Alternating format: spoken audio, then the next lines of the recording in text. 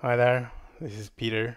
Today I'm not going to talk about Calva, but about Joyride, another VS Code extension that Michiel Borkent and I have created and just released. With it you can script VS Code. I'm going to illustrate that here with a feature for ignoring out forms. You know you can comment out lines with a command like that. But there's a problem with that of course.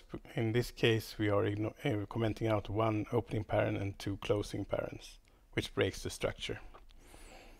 So in this case, it is better to actually ignore out this list we are on here.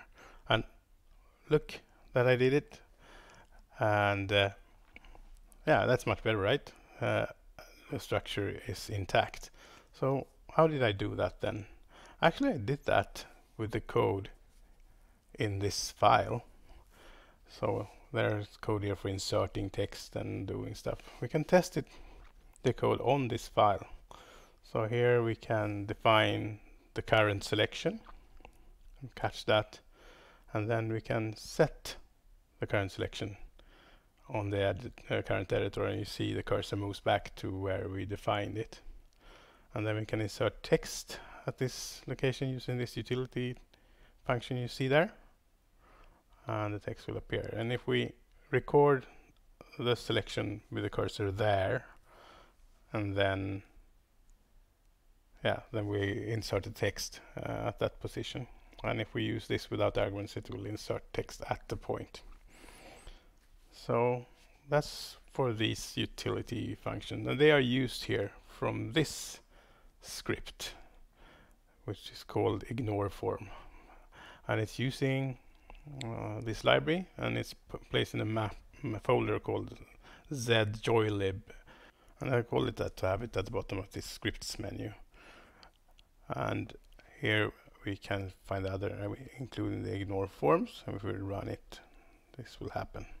Though the cursor was not placed in the list there so let's do that. And now bring up the menu and choose this script. It you can see that it works but we want to run this in the REPL, right?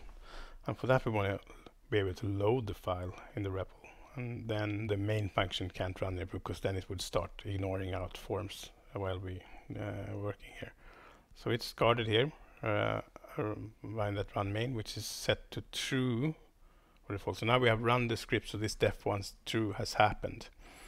And that means that if we now load the file in the REPL, it will comment out or ignore out the current uh, form, which is not what we want. So now we are unmapping it, and then we can load the file in the REPL without it ignoring out the current form.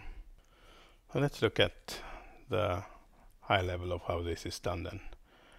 So we have this main function here, which is called, and in that one I start with picking out the editor, the current active text editor, and the selection from that. That is the original selection.